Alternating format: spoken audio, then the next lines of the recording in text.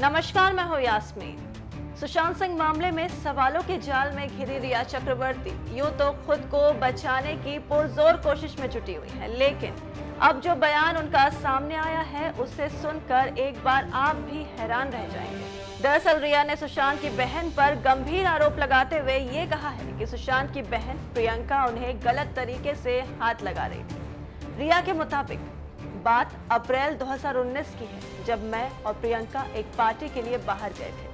प्रियंका ने बहुत ज़्यादा शराब पी ली थी तो उन्होंने मर्दों और औरतों के साथ गलत बर्ताव करना शुरू कर दिया था। जब मैंने उन्हें सुशांत के घर वापस जाने पर ज़ोर दिया तो वो नहीं मानी और शराब पीती रही। रिया का कहना है कि अगले दिन शूट की वजह से वो अकेले घर आकर सो गई, लेकिन जब नींद से जागी तो प्रियंका उनके पास थी।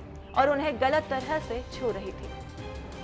रिया की माने तो इस वाक्य को जब उन्होंने सुशांत के सामने रखा तो उनकी अपनी बहन से नोकझोंक हो गई, जिसके बाद सुशांत के परिवार संग भी रिया के रिश्ते खराब हो गए। आलम यह हुआ कि उन्हें सुशांत के अंतिम संस्कार में भी शामिल नहीं होने दिया गया। तो ये था रिया का वो पूरा बयान जो उन्होंने अपनी सफ़ाई में कहा। अब सोचने वाली बात यह है कि जब ईडी द्वारा पूछताछ पैसों की हेराफेरी पर हो रही है तो रिया सुशांत के परिवार पर ही आरोप लगाने लगी। क्योंकि सुशांत के पिता ने रिया के खिलाफ एफआईआर दर्ज कराई है तो क्या इसका मतलब रिया अपने बचाव में उनके परिवार पर ही विवादित टिप्पणियाँ करेंगी? कुछ वक्त पहले जब बात रिया द्वारा ब्लैक मैजिक को लेकर उठ रही थी तो रिया ने यूरोप में 600 साल पुरानी एक पेंटिंग का हवाला देते हुए सुशांत को मानसिक रूप से बीमार बता दिया।